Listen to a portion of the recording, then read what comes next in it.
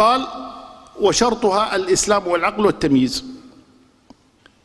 يعني ال- ال- الكافر لو نوى ما يصلح ما يصلح منه العمل. ما ما يقبل العمل من الكافر.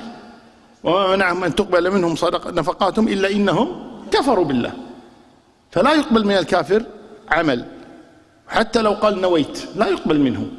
وكذا المجنون وكذا غير المميز للطفل الصغير لأنه ليس له نية وإنما يلقن النية لأنه لا يعقل لا يفهم. طيب